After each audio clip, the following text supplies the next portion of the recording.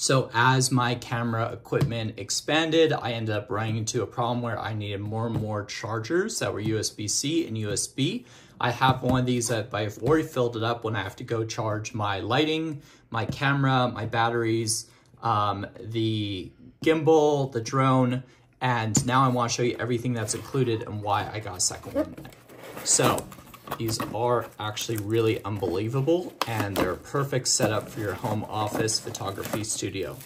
So this is the main unit itself and you have all the ports in the front. So it goes all the way up to 140 watt um, USB-C and then down to 30 watt and then you have three USBs at the bottom. And what I love about it's one power cord in. So you just mount this on your table, on your desk, in your studio, and you're able just to have everything plug right into it. Only one cord go to the wall. If you were doing things like I was doing in the past where you had, you know, 10, 15 cables in the wall, it was just a mess of extension cords. So that's that main unit. And then in the box comes the cord and then also comes a really handy stand the rubber base, which I love because you're able just to put it like this and then put it on your desk or in your office and it looks really good and nice and not take up a ton of room.